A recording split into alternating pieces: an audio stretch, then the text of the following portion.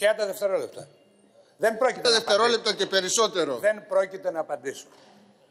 Ούτε είναι θέμα διχασμού. Εδώ έχουμε τους φασίστες, οι οποίοι ορκίζονται στο Χίτλερ και σήμερα, και οι οποίοι ξαναλέω ότι είναι κότες και δεν το λένε, και εμφανίζονται κάπως διαφορετικά.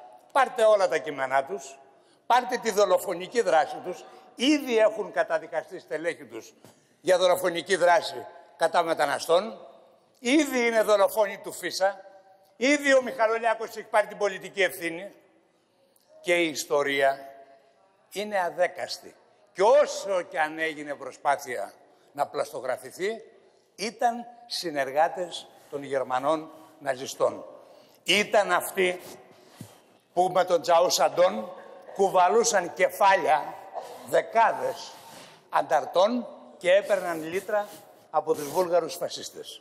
Γι' αυτό και ο ελληνικός λαός πρέπει να γνωρίζει και να μην παγιδεύεται σε όλη αυτή τη μεταμφίεση που προσπαθούν να κάνουν. Αυτό είναι η υποχρέωση του κάθε πολιτικού κόμματος και υποχρέωση και της κάθε κυβέρνησης να τα περάσει όλη αυτή την ιστορία στα σχολεία.